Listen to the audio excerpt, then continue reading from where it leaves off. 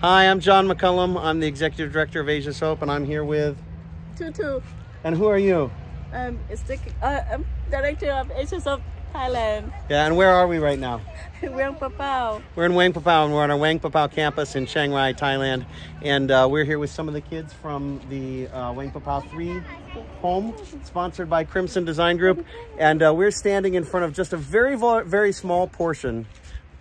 I'm going to say that again.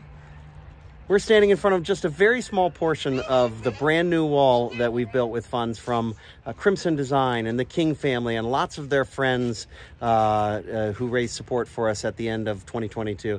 And so we just wanted to say thank you. This wall provides us security for our large campus here, for all three of our homes, uh, for our church that we have here, and uh, it's been a real blessing. It's something that uh, we've waited for many years to be able to afford to build, and now through their generosity, uh, we have this uh, fantastic uh, new wall, and such an important thing for us. So, on behalf of Asia's Hope and Asia's Hope Thailand, we just wanted to say thank you.